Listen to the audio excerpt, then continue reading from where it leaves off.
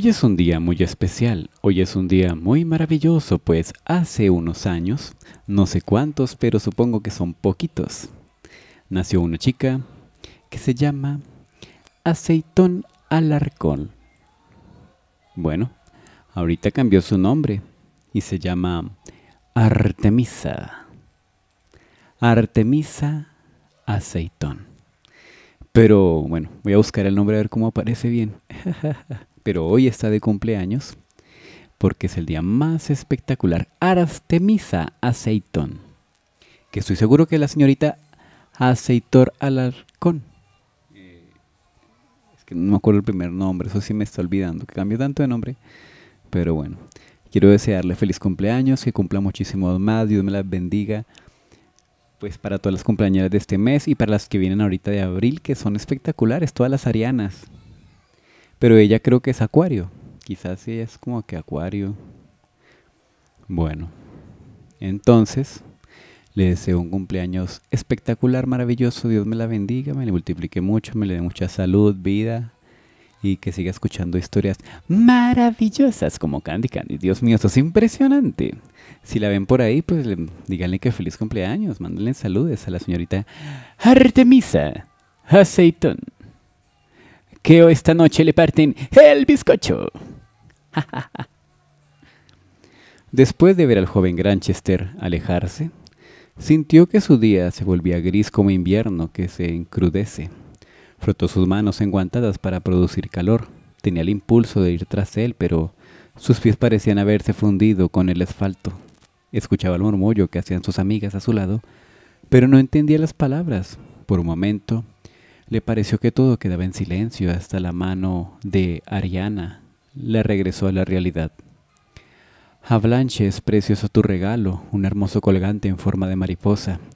Ellas habían abierto la cajita de terciopelo que le entregó antes de marchar el famoso pavo real. ¿Eh?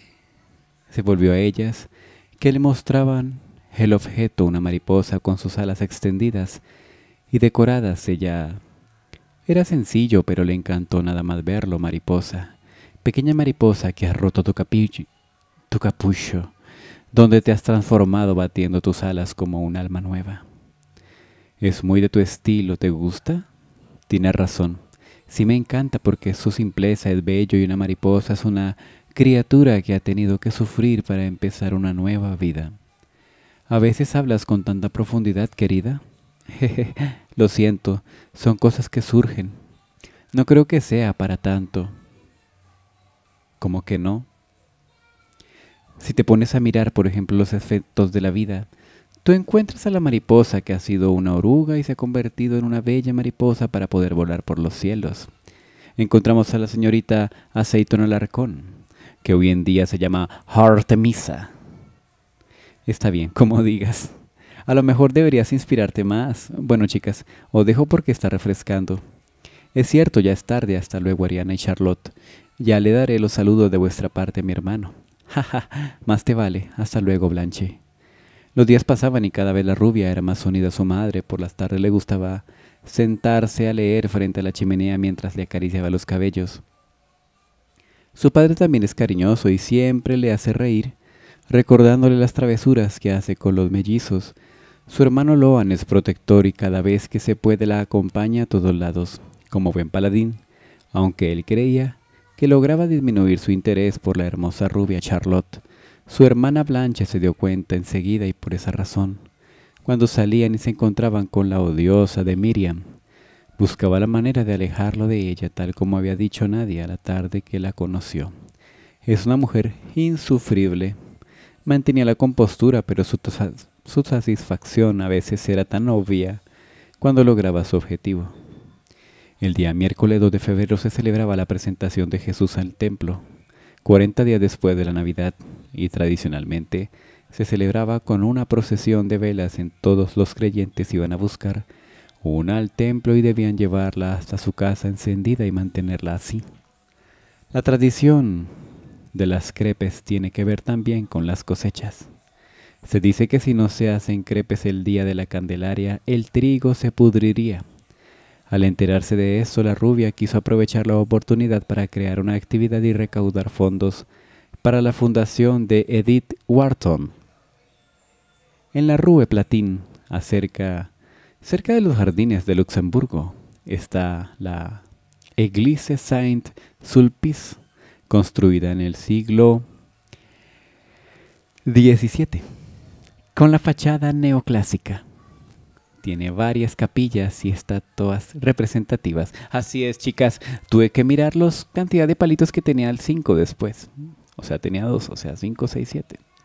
Y con el X que es el 10, 17.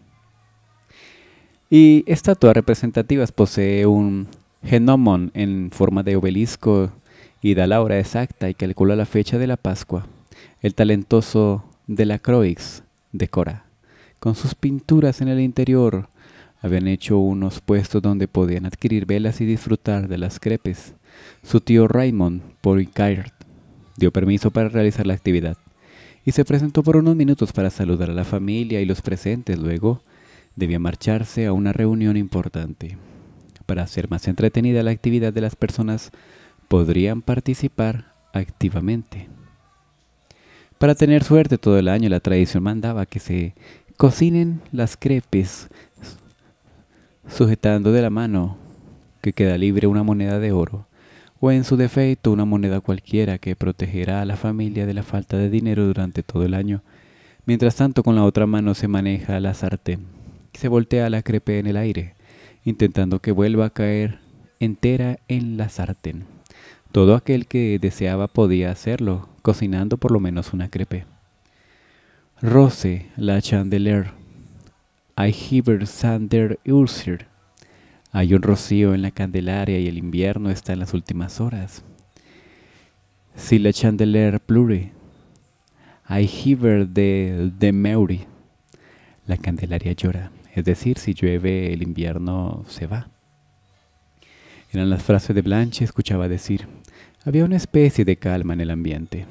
El 21 de febrero, en el frente occidental entre los ejércitos alemán y francés, una gran batalla tenía lugar en las colinas del norte de Verdun, sur Meuse, en el noroeste de Francia.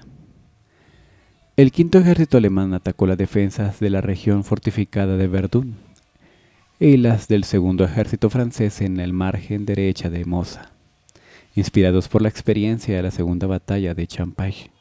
En 1915 los alemanes planearon capturar a las alturas del Mosa, una excelente posición defensiva, con una muy buena observación del fuego de artillería, una grandiosa posición defensiva sobre Verdún.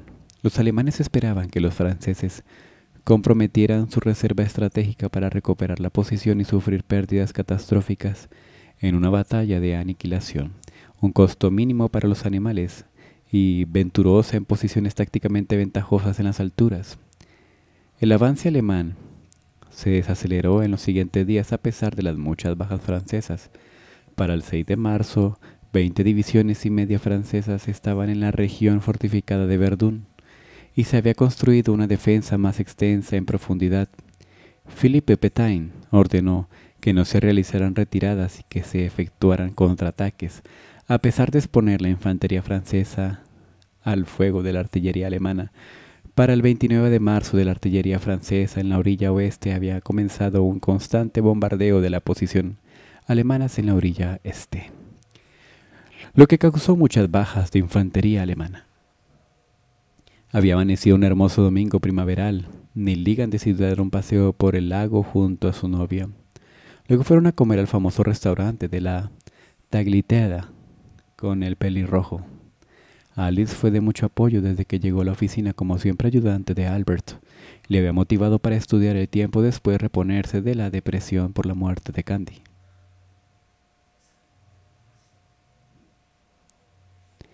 La culpa lo acachó los primeros días. Pero la joven le hizo ver que ella lo había perdonado, que le ofreció su amistad sincera al poco tiempo que compartieron. De camino a casa empezó a llover y salieron corriendo a refugiarse. Preciosa, estás empapada. ¿Qué te parece si vamos al apartamento para resguardarnos hasta que pase la tormenta? dijo Neil. Eh, así está bien. Alice se abraza a sí misma, pues estaba tiritando del frío. La tomó de la mano y la siguió corriendo hasta cruzar un par de calles y entrar al edificio donde él vive. El portero al reconocerlo abrió el portal y lo dejó pasar. Subieron por el ascensor a la cuarta planta, sacó la llave de su chaqueta y abrió la puerta. Eran los únicos que vivían en ese nivel. Pasa, por favor. Encender el fuego para que entremos en calor ambos. Escurrían agua, lo siento. Solo vivimos mi padre y yo en ese apartamento. No tengo cosas de mujer, pero te puedo prestar una camisa para que te quites la ropa mojada. No quiero que vayas a enfermar. Le dio la prenda y una toalla mientras él regresaba a su cuarto a cambiarse, ponerse una camisa blanca y pantalones tejanos. Cogió dos pares de calcetines. Luego fue a la cocina y preparó café. Con la intención de darle tiempo a que se cambiase minutos después con bandeja en mano, la encontró sentada en el sofá cerca del fuego. Había colgado su vestido y chaqueta para que se secaran. Muchas gracias. Acepta la taza, de buena gana, pues moría de frío. ¿Estás bien? Estoy congelada, pero ya, ya se me pasará. Mm. Oh, siento. Mm, ven, siéntate conmigo en la alfombra cerca del fuego. Tomó una manta. Se colocó cerca de la chimenea sobre su alfombra gris de pelos largos. Ella accedió a acomodarse entre sus piernas recostándose sobre el firmo pecho de su amado. Le dijo... Le dio un beso en la mejilla mientras él envolvía con la manta. Estás helada. No te preocupes, pronto estarás bien. Entrarás en calor. Neil tuvo una pequeña y repentina visión. No podían creer todo lo que podía suceder en su mente, todo lo repentino de The Terrorizers Neighborhood, sus pensamientos terroríficos. Le acusaban su mente, una mente taciturna, llena de preocupaciones, anhelos, deseos y desdenes. ¿Cómo? Desdenes. ¿De cómo? De vaivenes. ¿Cómo? Neil tuvo una visión bastante borrosa de lo que podría ser él en un futuro si llegara a ser homosexual. Gas, boutique, glamour, shopping, gas. Chicos, chicas. Neil. Gas. Ay, Candy, ¿tú te atreves a...? jamás seré uno de esos.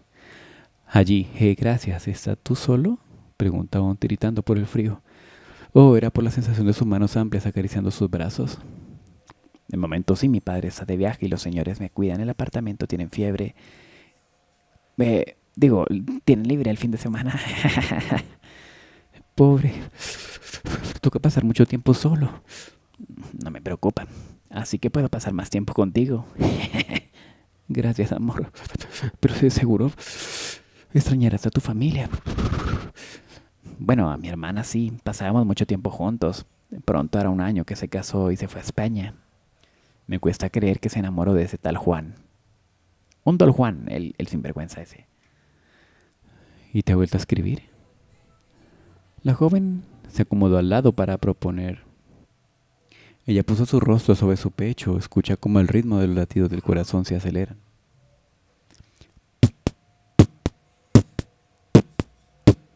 Sí, como siempre un testamento al mes. Seguro en los próximos días llegará una carta. No estará mal que en vez de eso viniese ella. Aunque si así fuese, no me permitiría ese tipo de cosas. ¿Crees que tu hermana no me aceptaría? Le dedico una mirada vidriosa e ingenua. No lo digo por eso, la toma por el mentón, sino porque intentaría absorber todo mi tiempo, y eso es algo que me gusta más pasarlo contigo. La abrazó fuerte y la besó apasionadamente. A mí también me gusta estar contigo, confesó con los ojos cerrados y sus frentes pegadas. Tenía escalofríos por todas las sensaciones que se despertaban. Te amo, preciosa. Yo también, Neil. Y se dejó consentir por las manos de él que divagaban por su cuerpo. No puso objeción alguna cuando desataron los botones de la camisa para sentir su cintura y sujetar su pecho. Ni, Neil. Esa palabra lo encendió, hizo que sus besos y caricias se intensificaran. Sorbía de su boca su aliento mientras que con su diez trabajaba por su vientre hasta que no encontró con la ropa interior la definía el límite, pero no quiso parar ahí. Descubrió su momento de Venus y luego llegó hasta los labios, acarició la zona suavemente para estimularla. Ella había introducido sus manos por debajo de la camisa. de él para sentir su abdomen firme y cálido, las cosquillas que sentía abajo provocando unos sonidos desconocidos que subían por su garganta. Alice, mm, Alice, te amo tanto. Te deseo. Dejó que descubriera su torso completamente mientras le recostaba sobre la alfombra, besó sus labios, su mentón bajos por su cuerpo hasta llegar a su busto prominente decorado con dos aurolas rosadas. Saboreó la piel de su pecho virginal. A la vez le acariciaba su cuerpo, una urgencia nacía en ambos. Las prendas que le estorbaban fueron eliminadas del camino del deseo. Ah, le acariciaba la cabellera sintiendo cómo bajaba centímetro a centímetro hasta llegar a su zona íntima con delicadeza quitó la ropa justo interior de ella. Rápidamente la de él besó sus rodillas por la vergüenza la tenía juntas. Hizo un nuevo camino de vellos por los muslos, llegando a los huesos de sus caderas, besó su vientre plano mientras ascendía en su recorrido hasta que por fin llegara a su boca. Increíblemente, impensablemente, unos pensamientos muy atroces llegaron a su mente, unos pensamientos donde posiblemente él, en una realidad alterna, resultara siendo homosexual. Gas, yo la verdad no quiero tocarte a ti porque tú, a mí la verdad, ay, no, ay, no imagina, ay, gas, eso me parece asqueroso. Boutique, glamour, shopping, Armagedón. Y no me gustan las mujeres. ¿Pero qué estoy pensando? Es que esto es payasada. ¿Qué, qué, me está pasando? No, amor. Mm, amor. Devora sus labios mientras acariciaba su sexo, hasta hacerle temblar las piernas y humedecer su palma. Estaba lista. Se colocó entre sus piernas con el claro deseo de poseerla. Ya estaba lista, con las piernas abiertas. Todo el camino estaba abierto, listo para que él pudiera entrar ella. Y ella lo iba a apretar con sus paredes. Pudo sentir la barrera de su virtud dificultar la entrada en su glande haciendo tensar el cuerpo de ella. Nuevamente la besa y acaricia. No quiero hacerte daño.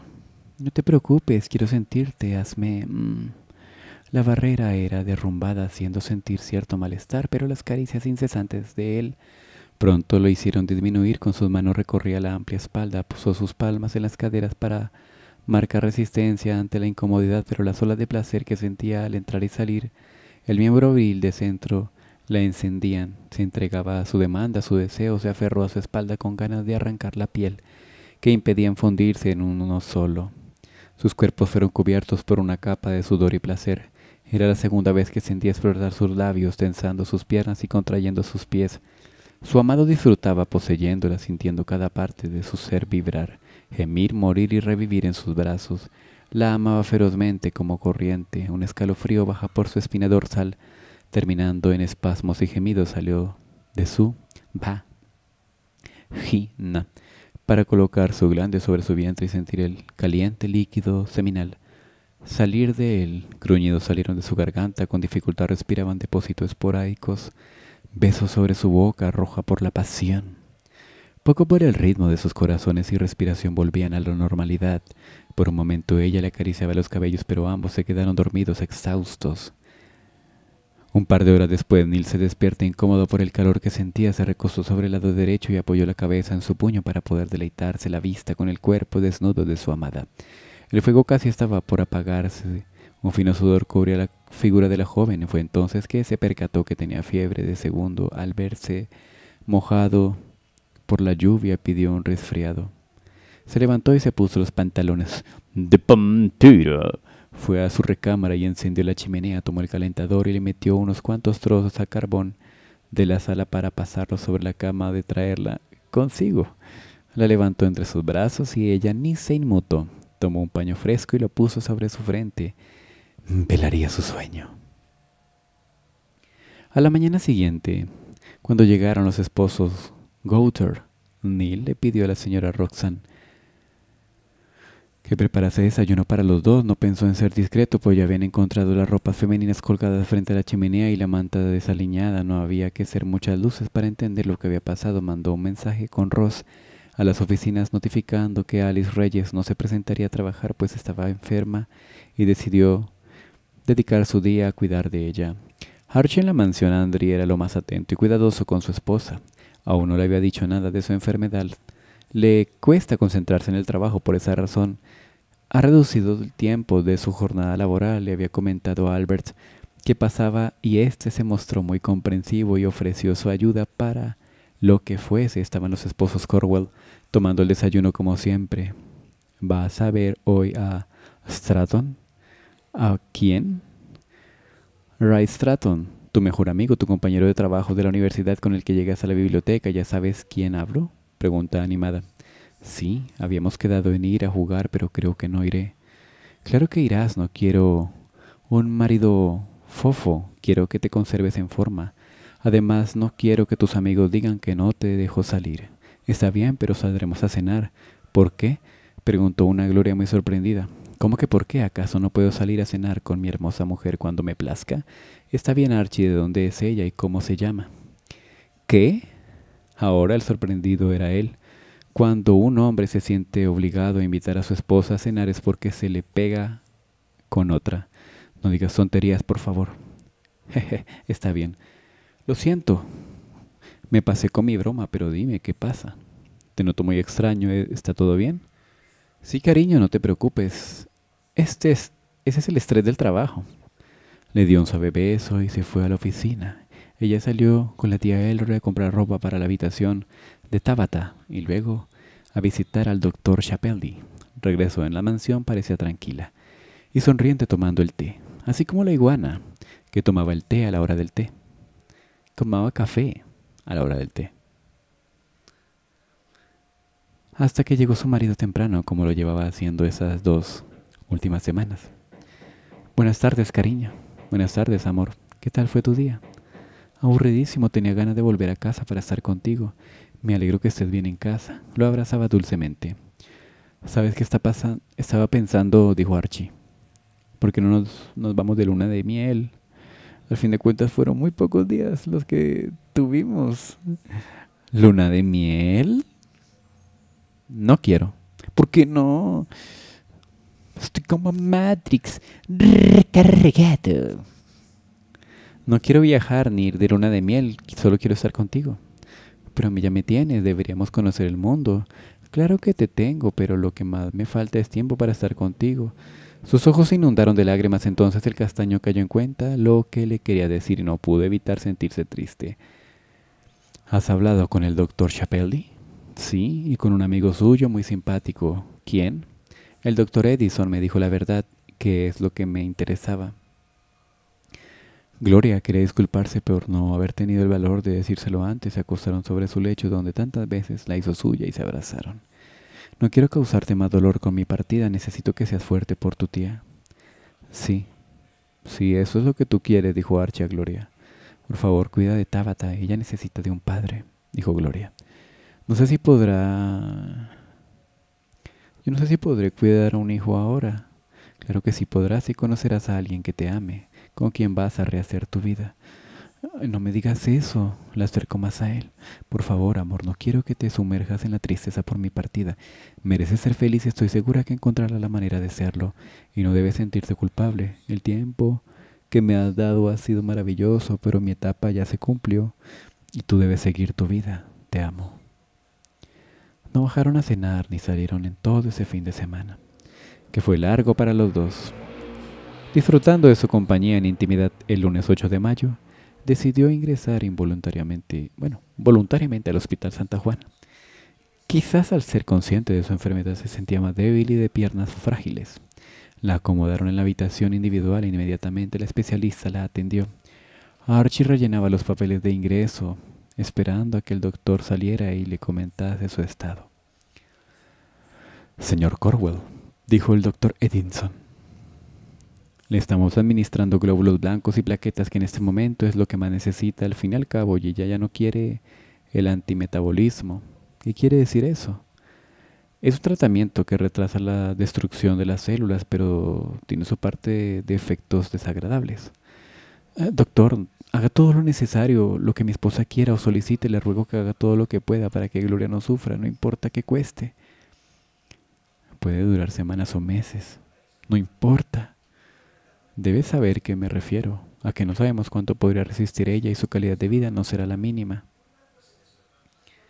Haga lo que sea necesario, doctor, suplicaba con la mirada, pues la impotencia de no poder ayudarla personalmente le devastaba. Fueron más de un mes largo y penoso y la familia llegó a visitar a la pareja para darles ánimos. Archie se desentendió por completo del trabajo y demás, solo quería estar al lado de Gloria para que no sufriera. Fue a la oficina a firmar unos papeles importantes para darle espacio al doctor de realizar su control rutinario. ¿Cómo está ella, doctor? Quiere que todos se preparen para recibir a su hija. ¿Cómo puede pensar en eso? Pero el rostro del doctor le hizo ver la realidad. ¿Tan mal está? Sí, no esperó más y fue al cuarto donde Gloria estaba y la vio acostada con los ojos cerrados. El rostro pálido en su brazo izquierdo tenía puesta la vía por donde le suministraban los tratamientos y el suero. Se acercó despacio para besar su frente. ¿Cómo está, señora Corwell? Ah, Archie, cariño. Se sentía sonolienta por los calmantes. ¿Te estás preparando para recibir a nuestra hija? No pienses en eso, amor, debes pensar en ponerte bien para acompañarme. Cariño, que hemos hablado de esto, debes ser realista, será normal que te duela mi ausencia, pero no dejes de vivir, ¿de acuerdo? Te quiero mucho. Tranquilo, amor, no me duele. Es como estar volando sobre una nube. Debes de sobreponerte. Ese aire de culpabilidad de tu cara me hace daño, no tiene la culpa de nada. Te amo, te amo, te amo tanto. Deposita un beso en su mano. ¿Querrías hacerme un gran favor? Él solo asintió con la cabeza. Abrázame, mi amor. Quiero sentirte muy cerca. Se acomodó a su lado y la abrazó. Le acariciaba los cabellos y besaba su frente cuando la vio dar un último aliento. Sus ojos brotaron sus lágrimas finalmente después de tanto contenerlas.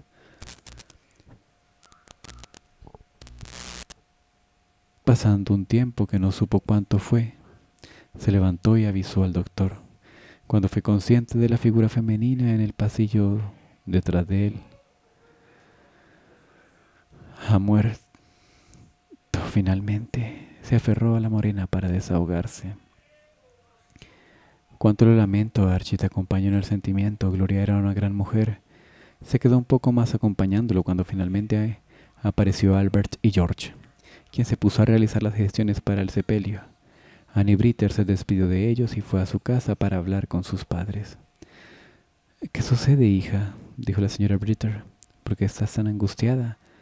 Mamá, papá, la esposa de Archibald Corwell, ha fallecido la tarde de hoy, anunció con la mayor serenidad posible. Es una lamentable noticia. Pero el punto no es ese, ¿verdad? No estás pensando en volver con él. No, mamá, lo que quiero decir es muy importante. La señora Corwell había adoptado una niña antes de todo esto y Annie estaba tan nerviosa que le, le costaba continuar y he pensado en quedarme con la nena.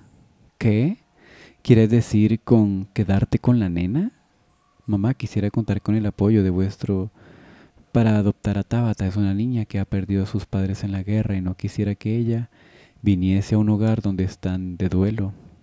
Ella se merece un hogar lleno de amor como el que ustedes me dieron. Ani, cariño, es muy noble de tu parte lo que deseas hacer y cuentas con mi apoyo. ¿De verdad? Muchísimas gracias, papá. Sé que no son las mejores condiciones para ser los abuelos, pero no me puedo quedar indiferente en este caso. Tienes razón, hija. Nunca pensé que me enteraría de esta manera que sería abuela, pero prometo ser lo mejor para ella y tu bastón. Te quiero, y lo que tú decías me parece bien. Estaba orgullosa de ver la madurez de la joven cuanto había crecido y ni cuenta se había dado cuando, aunque no era muy fácil de digerir todo lo que estaba pasando. Gracias, mamá. Annie, dijo Annie los brazos a ambos. Los Britter presentaron sus respetos a la familia Andre y después del entierro fueron juntos a New York a recibir al nuevo miembro de la familia junto a las demás parejas. El barco llegaba al día siguiente, el 23 de mayo, al mediodía. En esta ocasión, eran seis niños que podían disfrutar de un hogar. Pasaron tres días compartiendo entre otros para no les fuese traumática la separación y se adaptaron a sus nuevos padres. En julio de 1916 la ofensiva alemana se redujo para reforzar el frente de Somme. El 23 de junio, el 17 de agosto, Fleury cambió de manos 16 veces al principio de julio. Un ataque alemán en Fort Soubal falló. La ofensiva alemana se retuvo más y se intentaron los engaños para mantener los refuerzos franceses lejos del Somme. Después de tres meses de haberse despedido de Gloria Corwell, había llegado a tiempo de Albert para contraer nupcias. Habían sido dos días difíciles, pero habían debían demostrarse fuertes por la tía. Esas impresiones pueden perjudicarla. Pero Fleur ha sido muy atenta con ella y cuidadosa para que no se deprimiera tanto como pasó con Candy. Los preparativos de la boda fueron en un buen elemento para entretenerla y sus sobrinos siempre estaban cerca de ella. ¿Estás bien, amor? Sí, pero no puedo evitar estar nerviosa. no tienes que estarlo, te prometo que no voy a faltar. Más te vale porque si no tu tía se decepcionará con... Ella se decepcionará y con lo que ha emocionado en los preparativos, lo que en un principio era una linda boda sencilla, solo nosotros y nuestra, nuestra familia ahora es un gran evento descomunal de 250 invitados. Lo siento mucho, amor, sé que te prometí una boda íntima, solo tú y yo, si quieres aún estamos a tiempo. Jeje, amor, solo quiero estar contigo, lo demás no me importa. ¿Ni siquiera aguantar una semana? Ni una, decía sentándose sobre las piernas horcajadas. Si hubiésemos hecho como planeamos un principio, estaríamos casados. Oh, eso es muy lamentable. ¿A quién debo colgar por ser tan cruel con nosotros?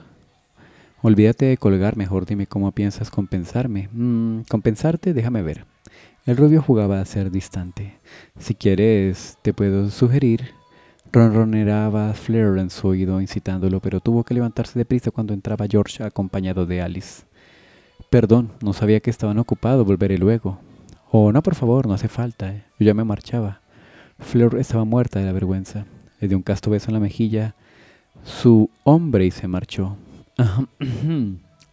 Albert quiso sonar serio el administrador, pero no pudo aguantar la ganas de reír. no, ¿Qué? ¿Qué? No, nada.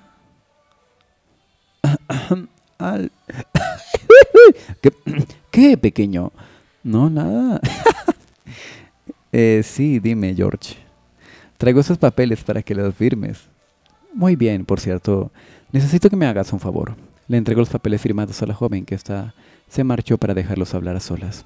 Muy bien. ¿Qué sucede? Alice colocó los papeles sobre el escritorio y se lleva una mano a la frente. Siente que la cabeza le da vuelta, respira profundamente un par de veces para serenarse. Vuelve a recoger las carpetas, les golpea los bordes sobre la mesa para emparejarlos y salir. Hola, cariño. Hola, Neil. ¿Estás bien? Te veo muy pálida. Me, me duele la cabeza. No terminó de hablar, pues se desvaneció y su novio la cogió en el aire. Estaba preocupado. Alice, Alice, ¿estás bien? ¿Qué sucede? Al escuchar las voces de alarma del pelirrojo George, salió del despacho para saber qué pasaba. No sé, estábamos hablando y se desmayó. Debe ser agotamiento, deberíamos llevarla al área de descanso. Ni la tomó en los brazos y fueron a un cuarto donde había una pequeña cocina con comedor y un amplio sofá para descansar. Era de uso de toda la plantilla del edificio que se quedaba a comer. Creo que aquí debe haber algo para hacerla reaccionar. Alice, cariño, ¿estás bien? La joven empezaba a reaccionar gracias a las sales de fruta que encontró George. A Nenel. Os dejaré a solas. Gracias, George. ¿Estás bien? ¿Qué te pasó? Eh, yo... Eh, yo... La joven lloraba. No quería decirte nada. ¿Decirme?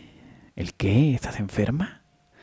No quería decirte nada porque no quiero obligarte a quedarte conmigo y estoy dispuesta a asumir mi responsabilidad puede ser un poco más clara, no te sigo. ¿De qué estás hablando? ¿De qué, ¿Pero de qué estás hablando? Eh, sí, después de lo que te voy a decir, decides romper conmigo, créeme que no, no te culparé por nada y, y no interferiré en tu vida. ¿Y eso es? Neil, es que... Es que yo estoy embarazada.